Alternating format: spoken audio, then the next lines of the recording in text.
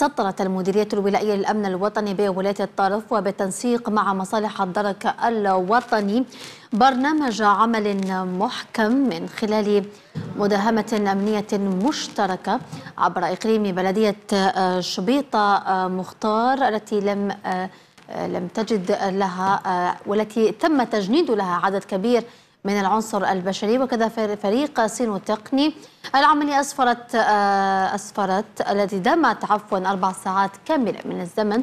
أسفرت عن توقيف أربعة أشخاص مشتبه فيهم وحجز كمية من المشروبات الكحولية وكذا أسلحة بيضاء محظورة. التغطية لهشام قسمي.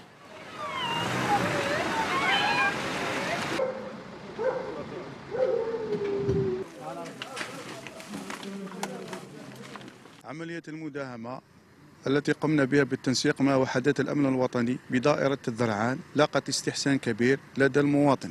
العملية الهدف منها محاربة كافة أشكال الإجرام خاصة عصابة الأحياء. العملية نتائجها كانت جد مرضية. تم حجز كميات معتبرة من المشروبات الكحولية مختلفة الأحجام والأنواع وكذلك مجموعة كبيرة من الأسلحة البيضاء مع مراقبة العديد. من السيارات والمركبات وكذلك الأشخاص. العملية لقت استحسان كبير لدى المواطن.